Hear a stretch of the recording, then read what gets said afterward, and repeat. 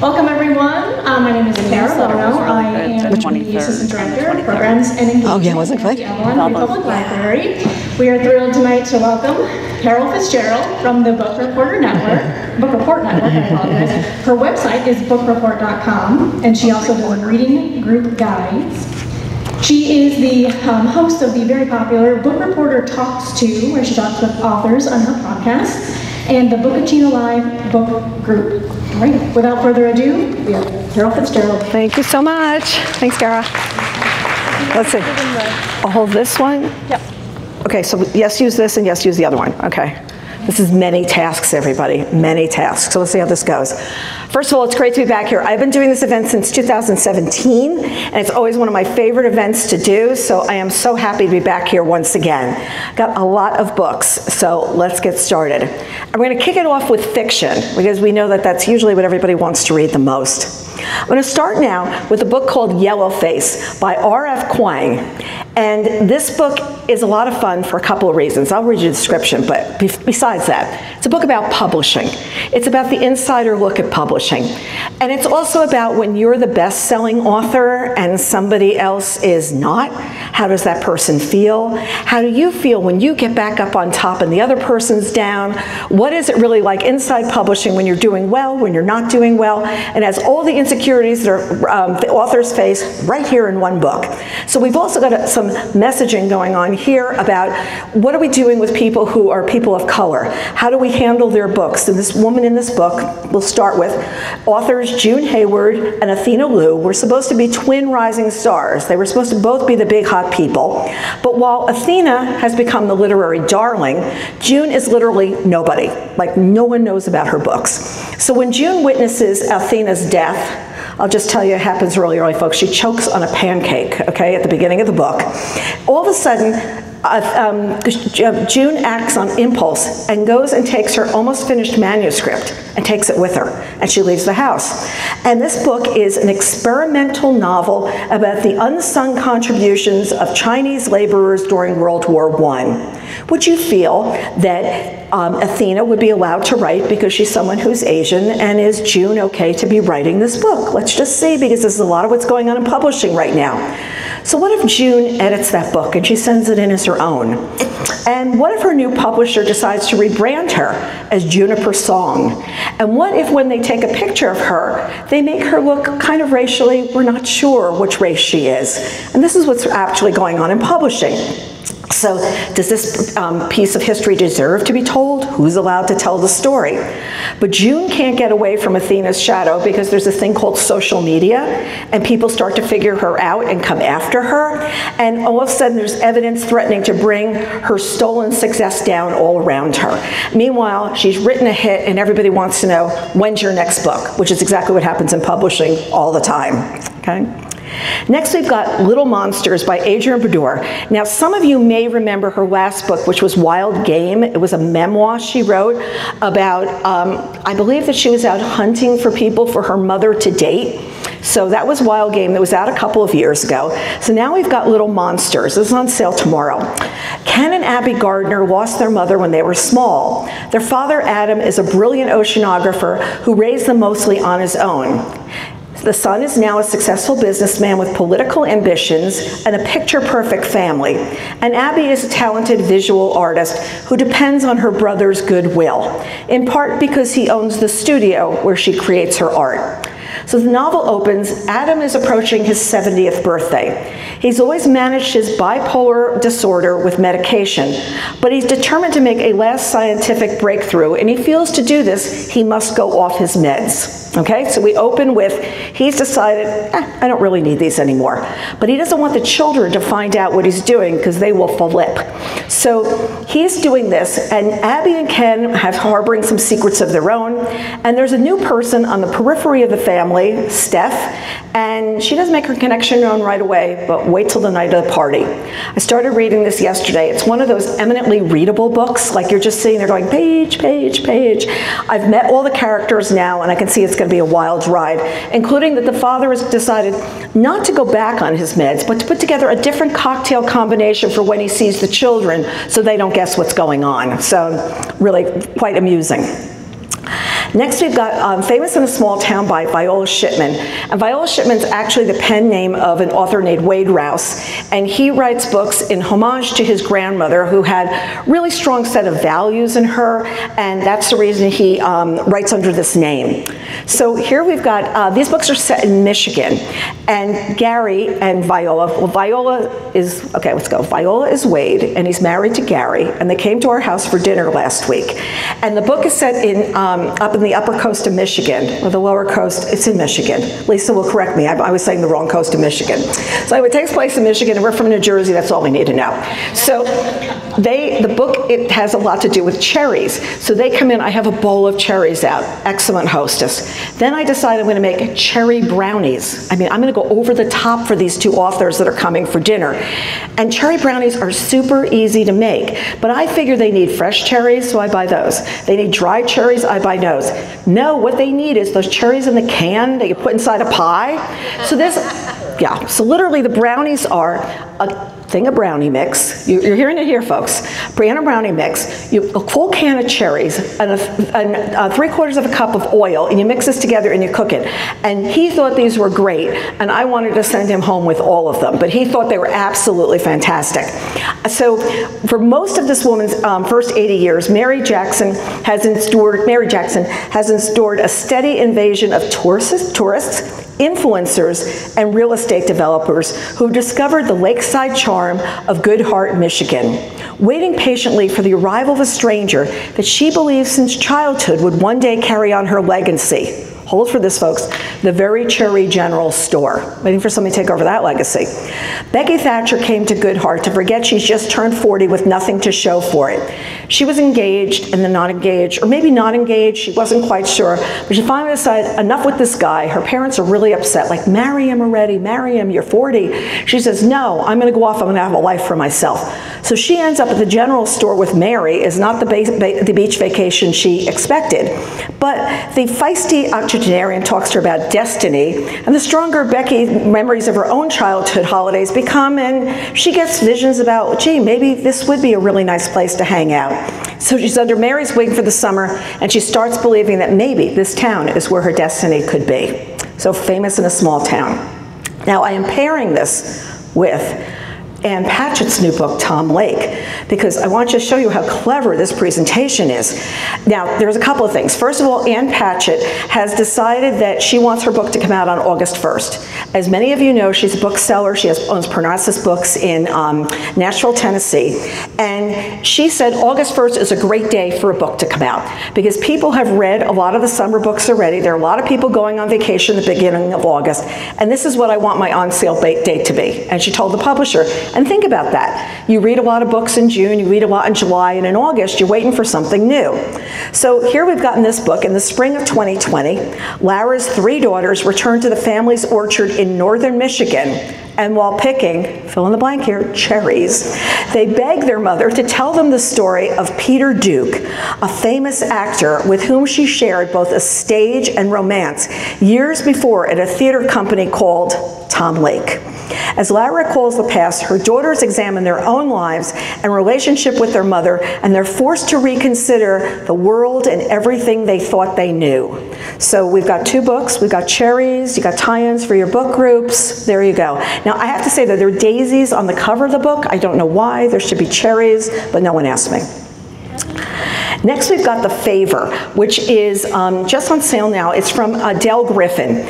Um, Adele and a couple of other authors I'm going to talk about in this presentation were um, previously YA authors, and they've just started writing for adults. I don't know whether they hit a certain age and felt that they were now entitled to do this, if they felt their readers grew up, or whatever. But we've got a number of authors that are now moving into this um, area.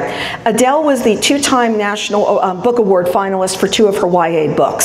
So you've got somebody coming in with um, some reading chops in front front of her. Um, at I'll Have Seconds, which is a high-end fairy tale vintage dress shop in Manhattan, Nora Hammond loves nothing better than pairing a rare find with the perfect client. The, I will tell you that the fashions in the store sound like unbelievable. The clothes, and you're going to get them for this great price, unlike there.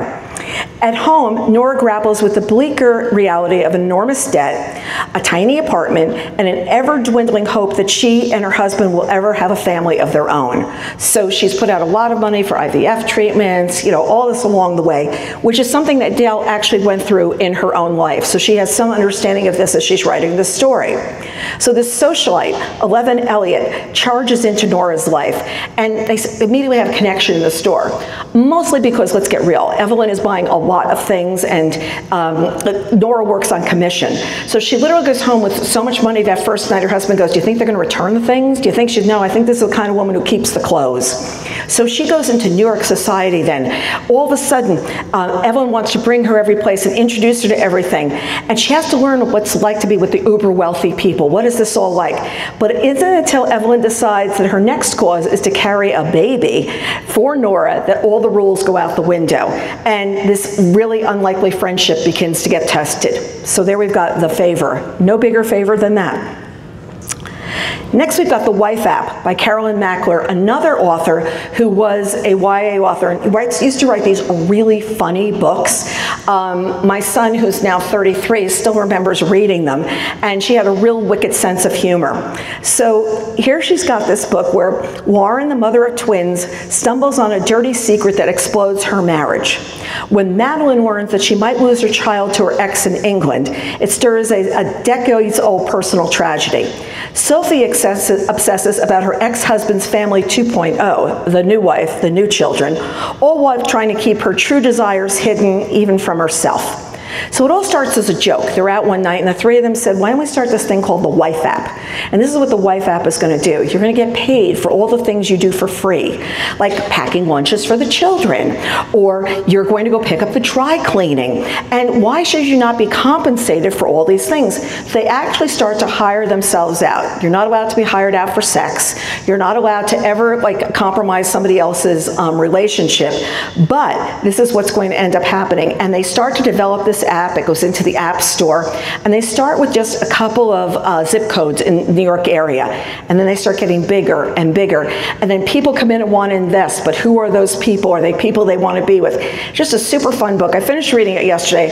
Not deep here, but a lot of fun about, you start to think about all these things that happen all day long. And the people, they're perfectly happy to um, hire you to fill out the camp forms, fill out those doctor's forms, and fill out all those things. I remember the month of September, all I did was fill out forms So who knew? Take the car to get inspected. All these other things you never knew about. So it's a lot of fun just to see what people are hiring people to do and how much people rely on other people to do their dirty work.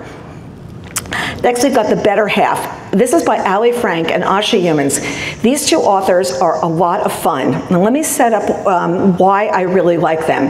They both taught in a private preschool. They worked in a private preschool in the Seattle area. And one of them was in charge of admissions, and the other one was the kindergarten teacher. And until you read their last book, which was called something. Lisa usually remembers these things that I don't. Their last book, their first book was Tiny Impressions. Second one was, oh, come to me. You have no idea what it's like to be actually picking the kindergarten class and what actually happens when you're picking what's going to happen. So what, what they would actually sit there and say to each other was, husband's really great looking, Where's that kid? We don't care. He's picking his nose. That's okay. Pick him anyway. We'll be fine. We'll be fine. We want the good looking father in our class. We, we need these people. Oh, they look rich over there, oh, but they're obnoxious. Off the list. Which that child? That blonde over there? She's off the list. So they used to joke with each other. I just want you to know that someday we're going to write a book. So the two of them go on their merry way all these years, and they're chatting about like when we write the book, when we write the book. Their lives go to different places, but one day Alli, who's white, calls Asha, who's black, as she's on the way back from her parents' home up in um, Sun Valley, Idaho, and she says, Asha, let's have a conversation about race. Now, this is like pre 2020. This is like, let's just talk about race and what it means. So, these two people who could not be in many ways the same and in other ways more different from each other both decide they're going to start writing these books. This is the third one, and I have it on my to read, read pile, and I'm just looking forward to it because they've got this real snappy way of going back and forth with each other. So here's what happens in this one. After a difficult five years, Nina Morgan Clark's time has finally arrived. With an ex-husband relocated across the country, her father bouncing back after the loss of his beloved wife, and a daughter, Xandra, thriving at boarding school, Nina is stepping into her dream job of the trifecta a first generation black female head of the storied Royal Hawkins School. Excuse me. To mark this moment, Nina and her best friend Marisol take a long overdue girls' trip to celebrate the second half of their lives. This is where it's shaping up to, which to be the best half of her life. So as Nina's school year gets underway, all seems to be pressing as planned. But before long, her wonder hire, Jared Jones, relentlessly pushes Nina to her ethical limits. Soon after, dutiful Zandra accuses one of her teachers of misconduct. And most alarming, the repercussions of her trip with Marisol force her into a life-altering choice. So you know with these two, though, it's going to be funny. Never meant to meet you. Never Meant to Meet You was her last book, and they're, they're really just super fun books to read. Uh, just know Lisa Hickman, who works with me, is over there because I am the world's worst title. Like the reason the titles and authors are written down here is because I would be making them up if not because I'm really bad at remembering those. The staff still, still chases me about the summer that there was some book that was by Kris Radish, and I had it was a story about white radishes someplace, and they're like, no, no, no, Kris Radish is the author, Carol. So every week when the newsletter goes out on Friday nights, they double check me to see like who I've renamed because it's always fun. Next book is The Connollys of County Down by Tracey Lange. It's coming on August 1st, and she wrote a book last year that you may have remembered called We Are the Brennans. And so a lot of you who've read this book, this is the book, this is her second book. So when Tara Connolly is released from prison after serving 18 months on a drug charge, she knows rebuilding her life at 30 years old won't be easy. No money, no prospects. She returns home to live with her siblings, who are both busy with their own problems. Her brother, a single dad, struggles with the ongoing effects of a brain injury he sustained years ago, and her sister's fragile facade of calm and order is cracking under the burden of big secrets. Life becomes even more complicated when the cop who put her in prison keeps showing up unannounced, leaving Tara to wonder what he wants from her now. While she works to build a new career and hold her family together, she finds chance at love in the most unlikely place. But when the Connolly's secret starts to unravel and threaten their future, they all must face their worst fears and come clean or risk losing each other forever. So there we've got the Connollys of County Down. I have this one on my pile at home. Big pile, folks. Okay, here we've got Banyan Moon, and this is by, okay, I, have got this one right now. Thao Thai, that's how she pronounces her name, and I listened to her do an interview this morning to make sure I got that right. Thao Thai. Um, this book has actually just been announced as the Read with Jenna pick for July. Um, it was just announced the other day because why wait till July to announce anything? We might as well do it in June. Okay, so this is um, th this is that title. So when Anne Tran gets the call that her fiercely beloved grandmother Minh has passed away, her life is already at a crossroads. In the years since she's last seen Minh, uh, Anne has built a seemingly perfect life. But it all crumbles with one positive pregnancy test. Now she returns home to Florida to face her estranged mother, Huong. Huong is simultaneously mourning her mother and resenting her for having the relationship with Anne that she never did. Then Anne and Huong learned that Minh has left them both the Mannion house, the crumbling old manor that was Anne's childhood home. Under the same roof, for the first time in years, mother and daughter must face the simmering questions of their past and their uncertain futures while trying to rebuild their relationship without the one person who's always seemed to hold them together. This book is also, um, HarperCollins always picks every quarter something they call their lead read, which people have embraced internally at the company, and they want to be um, all talking about and all sharing about. And this is the lead read for the second quarter of 2023. Next from Colson Whitehead. Many of you people read, remember the last book he wrote uh, where he, they were up in Harlem Shuffle, and this is picking up those same characters again because he had so much fun writing them. It's coming out in the middle of July. So first we've got 1971 and Ray Carney, remember him from the last book, tries to keep his head down. His days of moving stolen goods are over. It's strictly the straight and narrow from here on in. Until he needs, hold for this one, Jackson 5 tickets for his daughter. And he decides to hit up his old police contact, Munson, fixer extraordinaire. Now I'm going to pause for a second here. Remember, anybody who grew up during the 70s, remember when the concert tickets used to go on sale at Ticketron?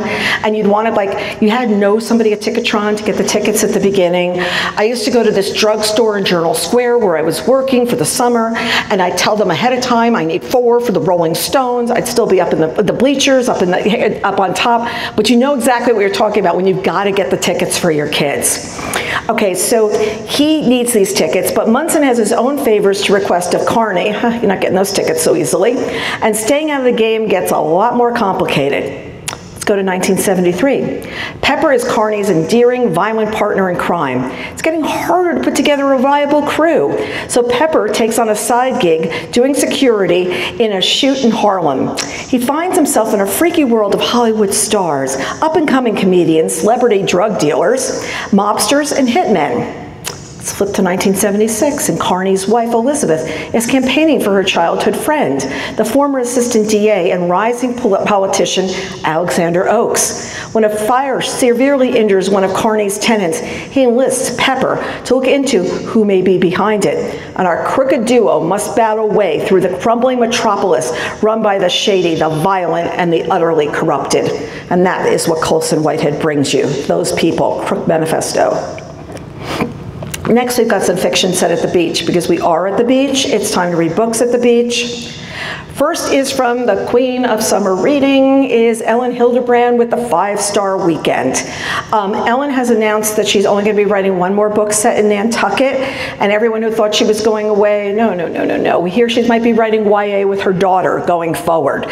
So while this is an author that every, a lot of people have loved through the years, just know the stories may be continuing with a different drama happening up in Nantucket. So what we have here is Hollis Shaw's life seems picture perfect. She's the creator of the popular food blog, Hungry with Hollis. That's clever, Hungry with Hollis. And is married to Matthew, a, Matthew, a dreamy heart surgeon. Dreamy heart surgeon. Only beach reads will call him a dreamy heart surgeon, okay? But after she and Matthew get into a heated argument one snowy morning, he leaves for the airport and is killed in a car accident. The cracks in Hollis's perfect life, her strained marriage, and her complicated relationship with her uh, daughter Caroline grow deeper. So when Hollis hears something called a five-star weekend, one woman organizes a trip for her best friend, and from each phase of her life, her teenage years, her 20s, her 30s, and midlife, now, I just have to stop here for a second. It's what, what are these? The, the teen years, 20s, 30s, and midlife. Like, where do we go to midlife? Like, how do we get there so quickly? I mean, midlife, I think, is much older than I am right now, and I will not tell you my age, but it's much older than now. But anyway, she decides to host her own five-star weekend, but the weekend doesn't turn out to be a joyful Hallmark movie. This book hits the Times list at number one, as you would expect, coming from um, Elin, and start thinking about putting together your own five-star weekend. Next, we've got Emily Henry. I am including this book, Happy Place, because to date, I think this is the book that has sold the most hardcovers this year, 355,000 the last time I checked. The first weekend out, it was 95,000, which is an extraordinary number given like the, the, the current marketplace. So what do we have? We have a book that's a bit of a rom-com. In fact, it's a lot of a rom-com, but it completely works. Harriet and Wyn have been the perfect couple since they met in, child, in college. Except for now, for reasons they're not discussing, uh, they don't. They're not really the perfect couple. They broke up five months ago, and they still haven't told their best friends. So this is how they find themselves sharing a bedroom in the main cottage that has been their friends group getaway for the last decade. This is going to be the last year they can get to the house, so everyone wants to be there. So they are lying through their teeth while trying not to notice how desperately they still want to hang out with each other. After years of being loved, how hard can it be to fake it for one week in front of those who know you the best? Let's see what happens in Happy Place. Now we've got Beatriz Williams' book, which is coming out tomorrow. We've got a huge write-up on the New York Times this morning. Um, Beatriz is also an author that we credit with having the longest book descriptions. This is about one third of what the book description is of this book. So I'm going to try and be brief, even more brief here than what's here. We started out in June 1946.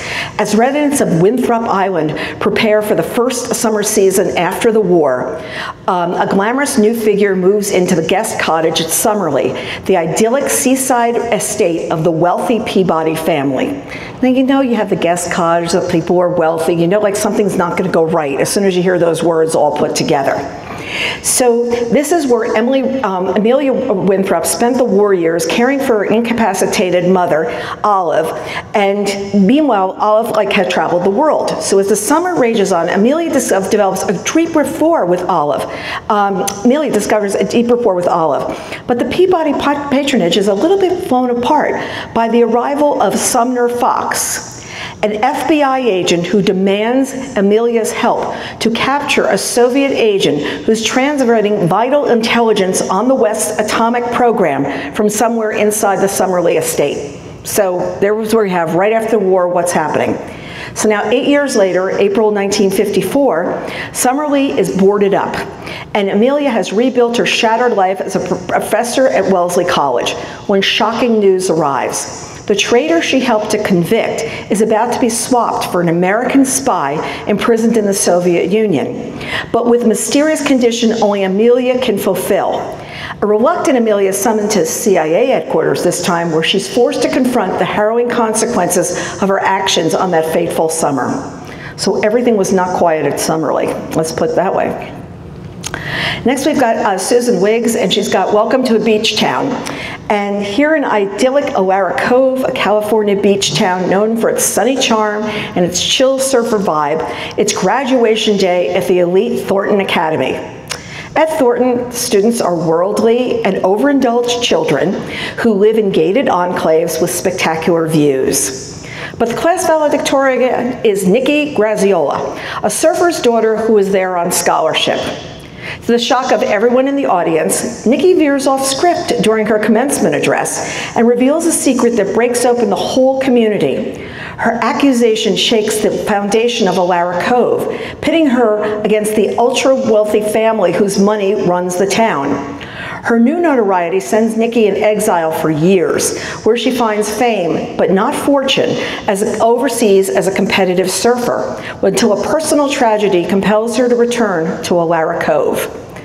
So there's Welcome to Beach Town. And staying in a beach theme, beach theme of mind, we've got My Magnolia Summer, which is by Victoria Benton Frank. And if you recognize Benton Frank, if you remember, her mother was Dorothea Benton Frank, who wrote so many books that were set in the Low Country.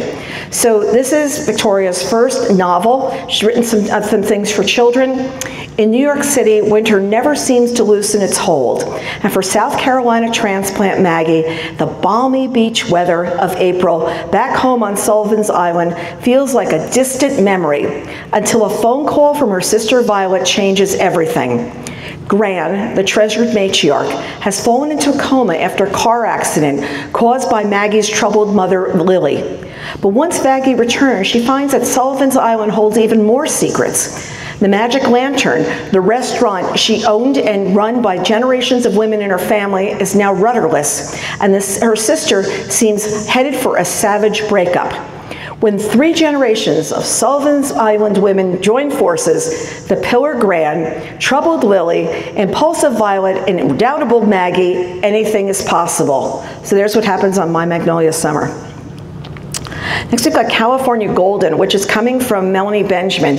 You may remember her last book was A Children's Blizzard. I read that book, I was freezing. I wanted to put on a jacket because the, the poor children, they were out on the plains and it was based on a true story. And should you have sent the children home into the blizzard or kept them at the schoolhouse where there was no wood for a fire to keep them alive?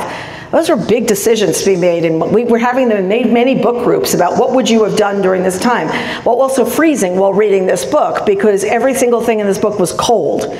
Well, she's redeeming herself here with California Golden.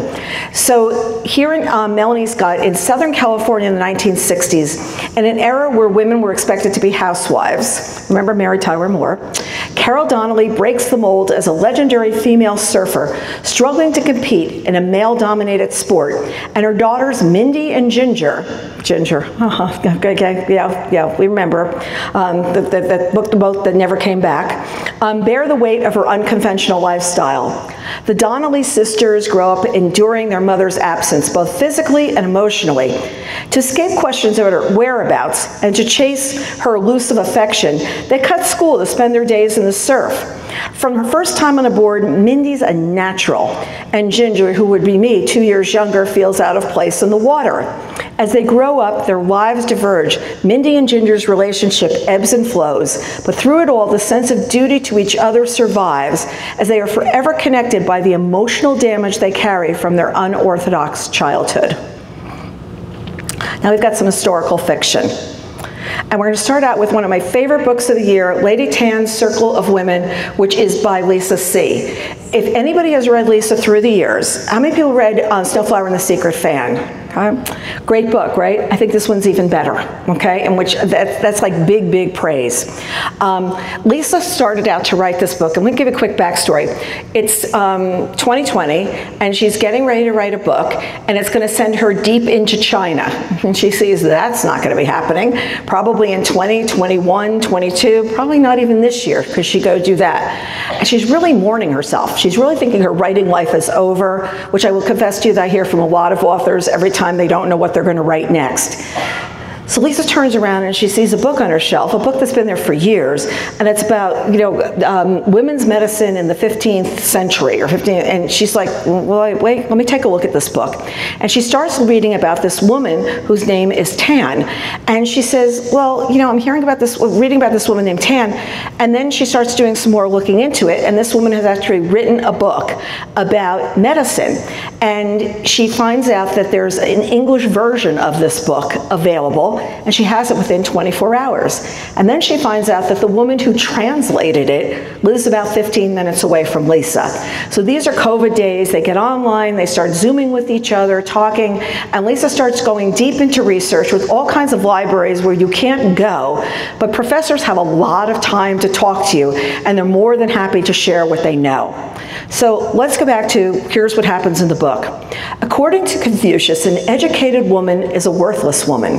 But Tan is being raised by her grandparents to be of use. Her grandmother is one, only one of a handful of female doctors in China, and she teaches her the pillars of Chinese medicine. From a young age, she learns about women's illnesses along a young, a young midwife in training, Mei Ling. And the two girls form a fast friendship and a mutual purpose. No mud, no lotus, they tell themselves. From adversity, beauty can bloom. So when Tan is sent into an arranged marriage, her mother-in-law forbids her from seeing Mei Ling and from helping any women in the household. She's taught to act like a proper wife, embroider bound foot slippers. Who, who remembers that from, like Snowflower? Like, who, who Googled that immediately when reading the book? What was that about? Whoa. Um, pluck instruments, recite poetry, give birth to sons. Remember, if you have a daughter, those nine months, whew, those are worth absolutely nothing. And stay forever within the walls of the family compound, the garden of fragrant delights and then something happens along the way. And it, it, it, the book is really powered by, there are different classes of people, and people who touch blood are midwives, and they are also the kinds of people who will do um, autopsies, but that is considered not clean businesses. And doctors may not touch blood. And so as a result, when a woman is delivering a baby and all these things, they need to bring a woman in and they bring in these midwives. And what happens to Tan and what happens is she can bring to the women of the Garden of Fragrant Delights from there. Absolutely terrific book. I sailed through reading it really, really quickly because it was, it was, the pace on it was really, really terrific. And I also knew what Bound Feet looked like. Let's get real. So next we've got Nancy Horan's The House of Lincoln. Um, Nancy is the author of Loving Frank, which many of you may have read years ago, and Beneath a Starry Sky. Um, this new book was really brought to her as an idea that she wanted to work on because she grew up in Springfield, Illinois, and she was always captivated by Lincoln's, um, the, the, legacy of Lincoln having lived there. And she really wanted to sit there and say, like, what did I know? What did I not know? What did I want to take away from this, you know, this time in um, history? So there's a woman woman in it, 14-year-old um, Anna Ferreira, who lands a job at the Lincoln household, assessing Mary, assisting Mary Lincoln with their boys and hostess duties borne by the wife of a rising political star. And what's really interesting is Anna Ferreira was actually, she's not a real person, she's based on um, a character from history. I was, did not realize that a lot of people from Madeira, uh, which is outside Portugal, came here to the United States and settled in that part of the country. And as a result, that is who this character is based on. So they were not slaves, they were free people, but by the same token, where, where, was, their, um, where was their position within the city like this? So she's supposed to be helping out the House, and she bears witness, witness to the evolution of Lincoln's views on equality and the Union, and observes in full complexity the psyche and pain of this his wife, Mary, who's both really uh, terrific and polarizing at the same time, and extremely bold. So along with her African American friend Cal, Anna encounters the presence of the Underground Railroad in town and experiences personally how slavery is tearing apart her adopted country. And she's seeing like, you know, how they're hiding people and what they're doing to try to get people through the Underground Railroad. Um, culminating an eyewitness account of the little-known Springfield race riot of 1908, the House of Lincoln takes readers on a journey through the historic changes that reshaped America America and that continue to reverberate today. So you see how much progress we've made and how much we haven't as you're reading this book. Next up, we know there are lots of fans of Fiona Davis here in the audience, and we have a new book from her called The Spectacular that just came out last week. Um, this book is set, you know that um, Fiona sets her books in iconic New York City places, and this time it's Radio City Music Hall. So it's 1956 when 19-year-old Marion Brooks comes across an opportunity to, in, um, to audition for the Radio City Rockettes. And she jumps at the opportunity. Instead of her predictable future, getting married and living in her small town and having children. And she wants to be this dazzling life of a performer. But the city is reeling with a string of bombings orchestrated by a person the press has renamed the Big Apple Bomber. With the public in an uproar, the police turn to Peter Griggs, a young doctor who espouses a radical new technique, psychological profiling. As both Marion and Peter find themselves unexpectedly pulled into a police search for the bomber, Marion realizes that if she hopes to, uh, to catch the culprit, she's going to have to stand out. Whereas difference with the uh, Rockettes, everybody had to fit in. Everybody has to kick at the same time. So she's going to have to sacrifice everything she's worked for, as well as the people she loves the most. Next, from Marie Benedict and Victoria Christopher Murray, who last year or two years ago wrote The Personal Librarian, which I know a lot of people remember. Um, this is the First Ladies. The daughter of formerly enslaved parents, Mary McLeod Bethune, refuses to back down as white supremacists attempt to thwart her work. She marches on as an activist and educator, and her reputation grows. She becomes a celebrity. Eleanor Roosevelt is eager to make Mary's acquaintance. Initially, they're drawn together because of their shared belief in women's rights and the power of education, and they become fast friends. When FDR is elected president, the two women begin to collaborate even more closely. And Eleanor becomes a controversial first lady for outspokenness, particularly on civil rights. And when she receives threats because of her strong ties to Mary, it only fuels the women's desire to fight together for justice and equality. And this is like something that I did not know about um, Eleanor Roosevelt. So another side of her, another new story. Next, I've got The Wind Knows My Name, which is by Isabel Allende. Another story which is going to talk a lot about how things have changed and do still do remain the same. It's Vienna in 1938, and Samuel Adler is five years old when his family disappears during Kristallnacht. Um, they lose absolutely, his father disappears, I'm sorry, during Kristallnacht. The night his family loses everything. As a child's safety becomes harder to guarantee, his mother secures a spot for him on a Kindertransport train out of Nazi-occupied Austria to England. He boards the train alone, carrying nothing but a change of clothes and his violin. So let's go to Arizona in 2019. Eight decades later, Anita Diaz and her mother flee looming danger in El Salvador and seek refuge in the United States. But their arrival coincides with a new family separation policy, and seven-year-old Anita finds herself alone at a camp in Nogales. She escapes her tenuous reality through trips to Zanzibar, a magical world in her imagination. And meanwhile, Selena Duran, a young social worker, enlists the help of a successful lawyer in hoping of tracking down her mother. So the parallels of two different times, what has ended up happening. Um, if you Google Isabel Allende's name and outreach for those who are um, immigrants, she's got a whole charity that she's set up and what she's planning to, what she plans to do on that charity. I heard her interviewed about that, which is really interesting because when you think about Vienna 1938 now, like no matter where you stand on the issue, it's just an interesting parallel to be thinking about. Next, I've got The Invisible Hour, which is coming from Alice Hoffman. One bright, brilliant June day, when Mia Jacob can no longer see a world to survive, the power of words saves her. The Scarlet Letter was written almost 200 years earlier, but it seems to tell the story of Mia's mother and Mother Ivy, and there's life inside the community, an oppressive cult in western Massachusetts where contact with the outside world is forbidden and books are considered evil. But how can Nathaniel Hawthorne have so perfectly captured the pain and loss that Mia now carries inside her?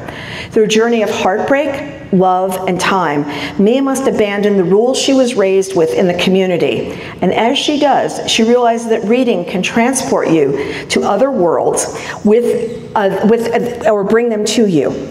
And that readers and writers affect one another in mysterious ways. She learns that time is more fluid than you can imagine and that love is much stronger than any chains that bind you. There's the invisible hour. Next, we've got Evergreen coming from Naomi Hirahara. Um, she wrote a book two years ago called Clark and Division. And I absolutely love this book because it talked about something that I did not know much about. We knew that during World War II, people who were Japanese that were living on the coast were put into camps. But what we didn't realize is that many people were then sent on to Chicago. And I did not know this. And they lived on the uh, crossroads of Clark and Division is where a lot of the people made their, their um, way and made their homes. So this is a continuation of the book Clark and Division, but it's not necessary to have read that book in order to be able to read this one. So it's been two years since Aki Ito and her family were released from the Manzanar Detention Center and resettled in Chicago with other Japanese Americans. And now the Itos have finally been allowed to return home to California. But the entire Japanese American community is starting from scratch, with thousands of people living in dismal refugee camps while they struggle to find new houses and jobs in overcrowded Los Angeles. Aki is working as a nurse's aide in a Japanese hospital in Boyle Heights when an elderly Issei man is admitted with suspicious injuries. When she seeks out his son, she's shocked to learn that it's her husband's best friend, Bobby. Could Bobby be convicted of be um, guilty of elder abuse? With only a few days later, Little Tokyo is rocked by a murder at a low-income hotel where the wannabes stay.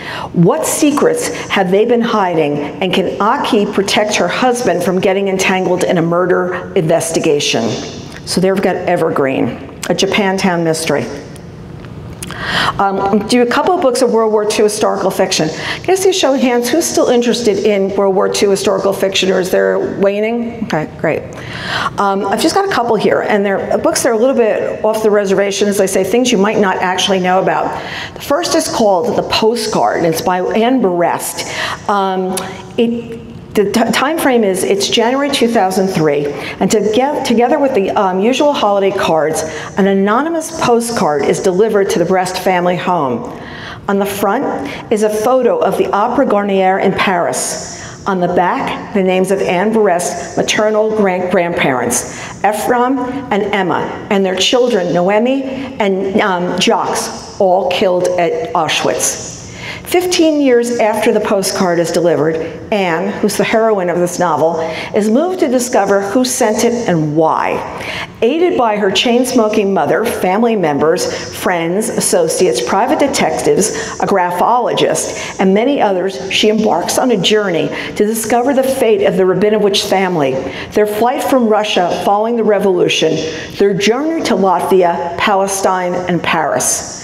And what emerges is a moving saga that shatters long held certainties about Anne's family, her country, and herself. So this is based on the story of her family. It's not exactly what happened, but it's based on it, and it's a novelization from there. Next, we've got Good Night Irene by Luis um, Alberto Urrea. This is based on a story from his mom, because his mom was one of the um, members of the uh, Donut Dollies during World War II. And she told him stories about what happened. So this is not her story, but it is a story about that time. In 1943, Irene Woodward abandons abusive fiance in New York to enlist with the Red Cross and head to Europe. She makes fast friends in training with Dorothy Dunford, a towering Midwesterner, and together they're part of an elite group of women nicknamed Donut Dollies who command military vehicles called Clubmobiles at the front lines, providing camaraderie and a taste of home that may be the only solace before the troops head into battle. After D-Day, these two intrepid friends join the Allied soldiers streaming into France. Their time in Europe will see them entangled, and embroiled in danger from the Battle of the Bulge to the liberation, liberation of Buchenwald. So there we've got Goodnight Irene. Next from Kristin Harmel, we've got The Paris Daughter. Um, in Paris in 1939, young mothers Elise and Juliette become fast friends the day they meet in Paris. And though there's only a shadow of war creeping across Europe, neither woman suspects that their lives are going to be irrevocably changed. So Elise becomes a target of German occupation. She enlists Juliette with her most precious thing in her life, her young daughter, her playmate to Juliette's own little girl. But nowhere is safe in the war, not even the quiet little bookshop like Juliette's. Um, and when a bomb falls on their neighborhood, Juliette's world is destroyed along with it. So more than a year later, with the war already ending, Elise returns to reunite with her daughter, only to find her friend's bookstore has been reduced to rubble, and Juliet is nowhere to be found. What happened to her daughter on those last terrible moments, and Elise's desperate search leads her to New York and to Juliette one final fateful time. So I think these are all different. I'm, I'm, trying to pick books that are a little bit different of talking about World War II instead of the usual stories that I think we've heard a lot about already. Now I've got some thrillers and mysteries. We're going to kick it off with Drowning, which is comes, comes from T.J. Newman. Um, T.J. Newman's last book came out two years ago. It's called Falling. This is one of the first times I've seen a cover of two thrillers by the same author look pretty much the same. The last book was about um, a plane that people came on a plane and they were going to take they, they were taking people hostage on the plane. This one is about a plane that's crossing into the Pacific Ocean. During the evacuation, this is six minutes after takeout, an engine explodes, the flood plane is flooded, and those who are alive are forced to close the doors, but it's too late. The plane sinks to the bottom with 12 passengers trapped inside. More than 200 feet below the surface, engineer Will Kent and his 11-year-old daughter Shannon are waist deep in water and fighting for their lives. Now, Will is taking his daughter to camp in, I believe it's Portland or Seattle, and his, or San Francisco, it's one of the three. And his wife says, why do you have to take her? She can go on her own. You'll never put your child alone on the plane again after reading this book, because now she's very glad that her husband is with the child to help, like, you know, solve this, this crime and uh, solve what's going on. So the only chance of survival is an elite rescue team on the surface led by professional driver Chris Kent. Chris is Shannon's mother and Will's soon-to-be ex-wife. So she's the one that's, their Navy's coming up with these ideas, everybody's coming up with ideas, she's the one that's figuring this out. And they have to work together with Will to find a way to save their daughter and rescue the passengers from the sealed airplane, which is now teetering on the edge of an undersea cliff, because we have to ramp it up enough. There's not much time, there's even less air. Okay, now, TJ used to be a flight attendant, and she actually wrote the last book sitting in the jump seat on many, many, many a cross-country flight, taking notes on like watching the passengers, coming up with all kinds of ideas. So in this book, I said to her publisher, could her, her timing of something happening under the water be any more timely than what we've read over the last couple of days? To which I have, have to say that I have a friend who works for CNN, and she's really funny because she's always coming out with these really witty things to, to say, and she actually does um, a lot of the uh, arts entertainment uh, coverage on CNN. And the, yesterday she's had probably one of her funniest lines. She is, I just am so impressed with all my friends that yesterday were um, experts on underwater marine implosion that have now moved over to be experts on Russia and the other, the other armies that are coming in there. And she says, it's just amazing how my friends are so multi-versatile that they can write about anything online at any given time. So anyway, TJ, I, I brought a publisher the other day. I said, uh, does she have a fast track on this stuff or what's going on? So both Falling and Drowning are both being made into movies. This one does read like a, um, a movie script, but it's a lot of fun. Um, now we've got The Whispers by Ashley Adrain. I don't know if any of you read The Push last year. The Push, the little pink gloves. Remember the little pink mittens and that little child with the little pink mittens? Yeah, terrified me. Never will we get little pink mittens the same way again. So what have we got here with The Whispers? On Harlow Street, the well-to-do neighborhood couples and children gather for a catered barbecue as the summer winds down, drinks continuing late into the night. Everything is fabulous until the picture perfect hostess explodes in a fury because her son disobeys her. Everyone at the party hears her exquisite veneer crack, loud and clear, and before long, the same boy falls from his bedside window in the middle of the night. And then his mother can only sit by his hospital bed where she refuses to speak to anyone, and his life hangs in the balance. What happened next over the course of three tense days as each of these women grappled with what happened and led to that terrible night? So there you go, the whispers. Those little pink gloves, those who read the book, you know what I'm talking about. Ooh, scary. Next, we've got Ruth Ware, Zero Days. Ruth Ware usually writes locked room mysteries. As many of you know, you've read her through the years. The It Girl, The Woman in Cabin 10. Well, got a little bit of a different story here. Hired by companies to break into buildings and hack security systems, Jack and her husband Gabe are the best penetration specialists in the building. But after a routine assignment goes horribly wrong, Jack arrives home to find her husband dead. To her horror, the police are closing in on their suspect, her, Jack. Suddenly on the run and quickly running out of options, she must decide who she can trust as she circles closer and closer to the real killer. Ruth Ware is this really like sweet woman, really, she looks like an English grandmother that writes really, really, really scary books. So there you go, Ruth Ware the only one left by Riley Sager. He, last year's book was The House Across the Lake. The Hope family murder shocked the Maine coast one bloody night in 1929.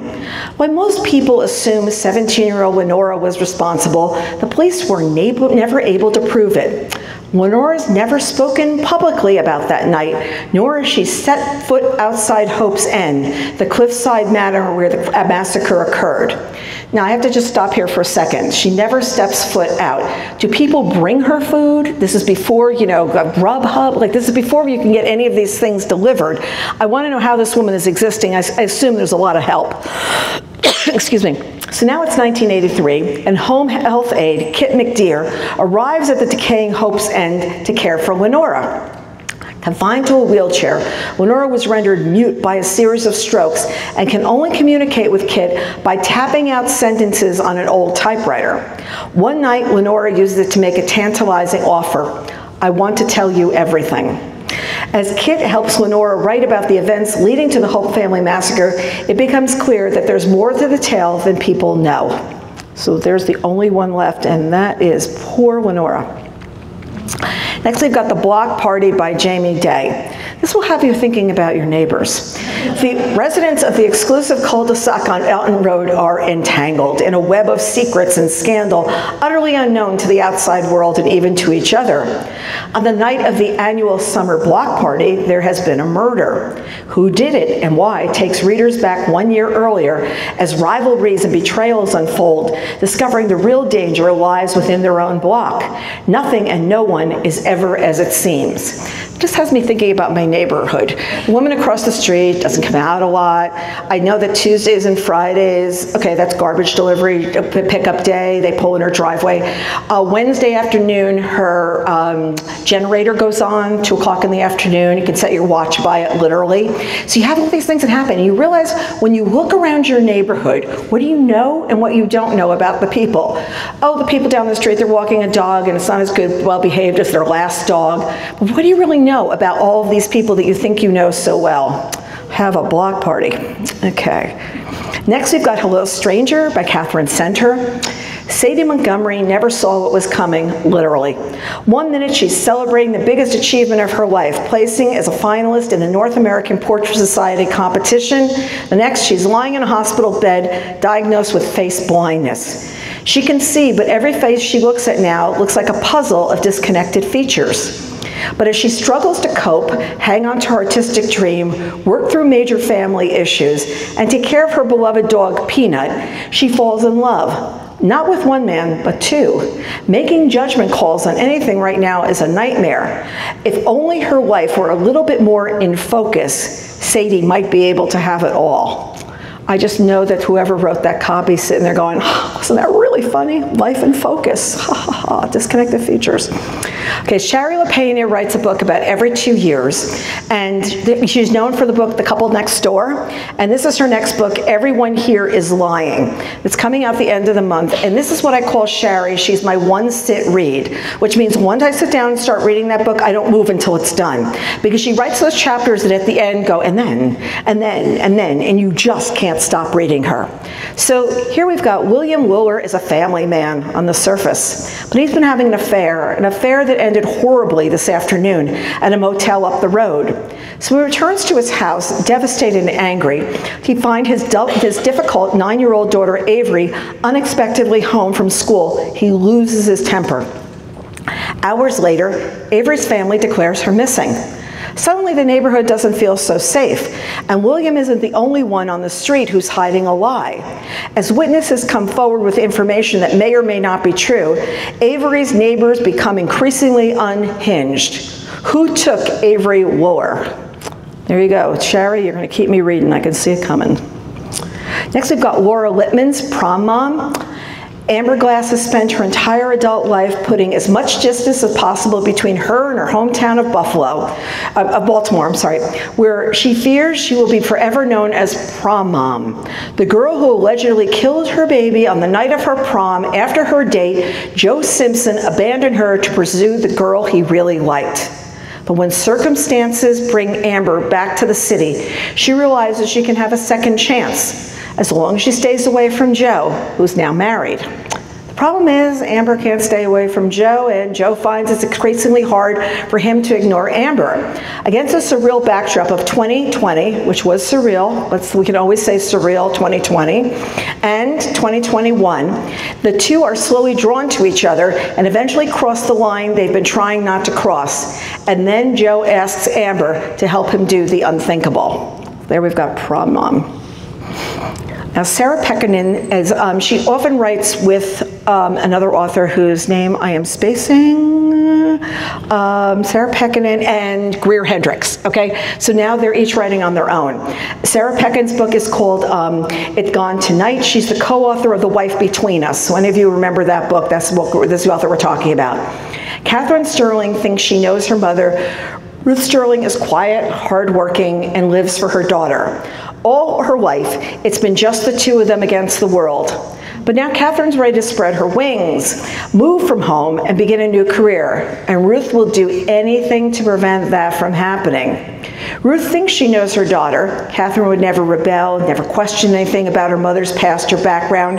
But when Ruth's desperate quest to keep her daughter by her side begins to reveal cracks in Ruth's carefully constructed world, both mother and daughter begin a dance of deception. And Sandra Brown, who is my float in the um, pool in August read every year, has written Out of Nowhere. At a Texas county fair, children's book author Elle Portman is enjoying, enjoying a rare night out with her two-year-old son, Charlie. Just as about to head home, a shooter opens fire into the crowd. Also caught in the melee is corporate consultant Calder Hudson. He's frustrated and confused when he wakes up in the hospital after undergoing emergency surgery on his arm. The doctor tells him he was lucky that all so far as the gunshot wounds go, he pulled through remarkably well. Others weren't so lucky, which instills in Calder a fierce determination to get justice, a goal that is shared by Elle. Their chance encounter at the police station leads to a, a surprising and inexplicable gravitation to one another. But even as the attraction grows, they can't help but wonder if the unimaginable tragedy that brought them together is too painful and too complicated to sustain, especially while the shooter remains at large. Now it's interesting, we've had a number, sadly, of shootings across this country. And we're seeing now this starting to be reflected in fiction. And some people are saying, I know one author was recently asked to take it out of his book and to change it to be something else. And it comes that moment of, are we reflecting the times? Are we sharing what's going on? Are we um, taking something that shouldn't be regarded as wonderful and making it part of fiction? Does it belong there? There's a lot to think about here because it is also real life at this point. And it's interesting because one of the best books I read was 19 Minutes by Jodi Picoult years ago about that what happened in that 19 minutes in that school. And anybody who's it remembers it. It stays very, very much with you, especially when you find out what's really happened that day. So it's interesting to see Sandra taking this on. She's an author of, you know, been around long enough that I think she can be the one that says, I'm going to write this book. Next, we've got Lisa Jewell, None of This Is True. Celebrating her 45th birthday at her local pub, popular podcaster Alex Summer crosses paths with an unassuming woman named Josie Fair. Josie, it turns out, is also celebrating her 45th birthday. A few days later, Alex and Josie bump into each other again, this time outside Alex Children's School. Josie's been listening to Alex's podcast and she thinks she might be an interesting subject for her series. Josie's life appears to be strange and complicated, and although Alex finds her unsettling, she can't quite resist the temptation to keep making the podcast. So slowly she starts to realize that Josie's been hiding some very dark secrets. Before she knows it, Josie inveigled her wife, life, her way into jo Alex's life and into her home. But as quickly as she arrives, Josie disappears. Only then does Alex realize that her life and her family's lives are under mortal threat. Who's Josie Fair and what has she done? And I've got to ask Lisa. Lisa's always got this kernel of an idea that has her start writing a book. Like one day she was picking up her kids at school and there was a guy there that just didn't quite fit in. And she decided that that guy was like a terrorist and all this kind of stuff. And it's where she took the story from there. So there's always this little kernel of a thing that just makes her say, okay, I've got to start writing now and this is what I'm going to do. Next from Jennifer Weiner, we've got The Breakaway. Something about this book, usually Jennifer is on sale in May, usually mid-May, and this is the first time she's on sale in August. And something else is, um, any of you who follow her on social media, she loves to bike ride. Like she's the type will get up in the morning, oh, let's see, let me get up, it's, um, I'm Philadelphia, let me ride to Baltimore today. Let me then ride on to Washington, D.C. I mean, my idea of riding is maybe the recumbent bike in my room, maybe if I can get all the stuff off of it. So here we've got 34-year-old Abby Stern has made it to a happy place place. She's at peace with her plus-size body, at least most of the time, and she's on track to marry her childhood sweetheart, Mark. Yet Abby can't escape the feeling that something isn't right, or the memories of one mind-blowing night spent with a man named Sebastian two years ago. So when Abby gets last-minute call to lead a bike group from New York City to Niagara Falls, I'll drive, folks. Um, she's happy to have time away from Mark and a chance to make up her mind. Mark or Sebastian, Mark or Sebastian. But on the first day, Abby is shocked to see Sebastian in the tour group. That'd be interesting. To make things even worse, there's a last minute addition to the trip, Abby's mother. Eileen, whom Abby blames for her lifetime of insecurities that she's still trying to undo If you're a mother, you are always blamed for the lifetime of insecurities that the children are trying to undo. This is not a very unique plot line. So over the next two weeks, strangers become confidants, hidden truths come to light, and a teenage girl with a secret will unite all the writers in surprising ways, all while um, Abby's all uncertainties about herself, her mother, and the nature of love are challenged. We've got the breakaway. Karin Slaughter's After That Night. If any of you watch Will Trent on ABC, this is one of her Will Trent novels. 15 years ago, Sara Linton's life changed forever when a celebratory night out ended in a violent attack that tore her world apart. And since then, she's remade her life. A successful doctor, engaged to a man she loves, she's managed to leave the past behind her. Until one evening on a call to the ER, everything changes. She battles to save a broken young woman who's been brutally attacked. But as the investigation progresses, led by GBI Special Agent Will Trent, it becomes clear that Dani Cooper's assault is uncannily linked to Sara's, and the past isn't going to stay buried forever. So we've got two biographies of nonfiction. There's not a lot that comes out this time of year. If anybody's looking for um, a good um, nonfiction book that came out earlier this year, The Wager is one that you may want to take a look at that is based on something that um, happened uh, off the coast of, I want to say it's Australia, years ago. So that's another one to take a look at. Um, first, we've got Meet Me Tonight in Atlantic City by Jane Wong. It's the 1980s on the, 19, on the Jersey Shore. Jane Wong watches her mother shake ants from the M MSG bin behind the family's Chinese restaurant. She's a hungry daughter frying crab rangoon for lunch, a child seeking naps on bags of rice, a playful sister scheming to trap her brother in the freezer before he traps her first. She is part of a family staking their claim to the American dream, even as the dream crumbles. She's beneath Atlantic City's promise lies her father's gambling addiction, which causes him to disappear for days and leads to the loss of their restaurant. In her debut memoir, Wong tells a story about a new story about Atlantic City and making do with what you have and what you don't. What it means to be both tender and angry, and what is strength without vulnerability and humor. So there's Meet Me Tonight in Atlantic City. And next we've got Never Give Up by Tom Brokaw. Tom Brokaw is my favorite news anchor of all time. The night that he left NBC Nightly News, I confess to driving down the street, watching on the Jumbotron, pulling over and crying, okay? Like this is how much I think he was, you know, it, it, there are very few broadcasters that you don't know much about their politics. You don't know much about them at all. You just know I'm delivering the news and I'm delivering in the best way possible. And I just felt like that he was like that kind of guy. And he wrote The Greatest Generation. He's written a book about his uh, family helping him cope with his um, multiple myeloma, which he's now 10 years out from being first diagnosed with. I understand he was on CBS um, uh, Sunday morning yesterday. I didn't catch it, but I'll have to, you know, catch that two days ago. Um, so what do we have in this book.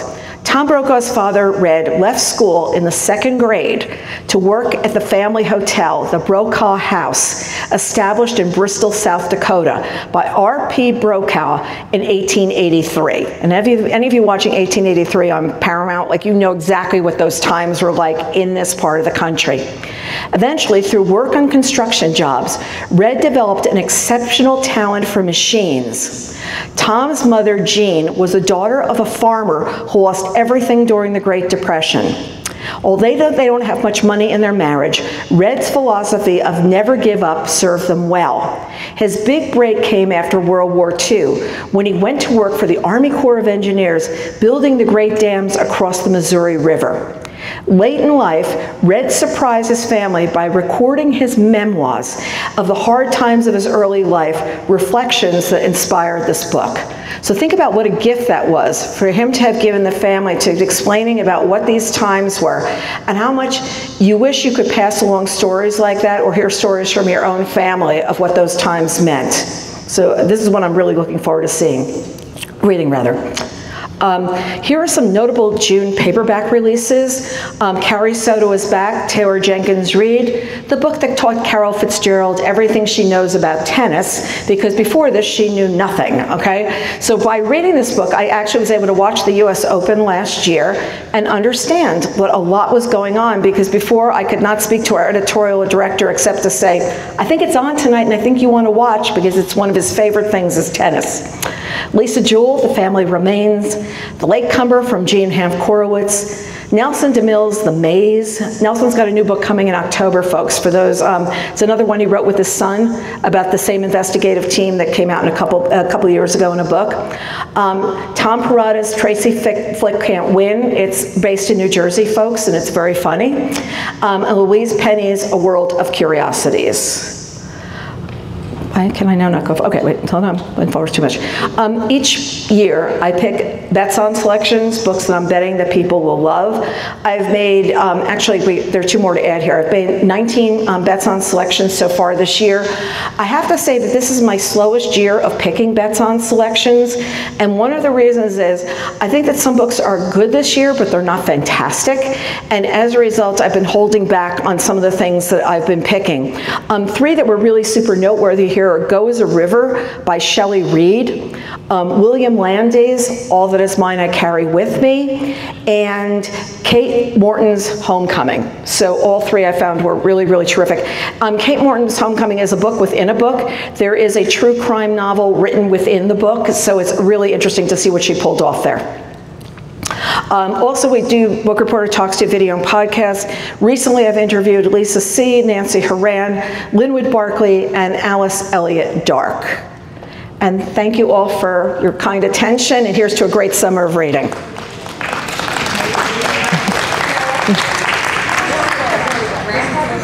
Excuse me, what? His Tom's Brokaw, is that his, is his grandfather? father's story. Father's story. Isn't that wild? I know, crazy, right? Oh, I'm gonna do the gift. I'm gonna do these. Oh, thank you.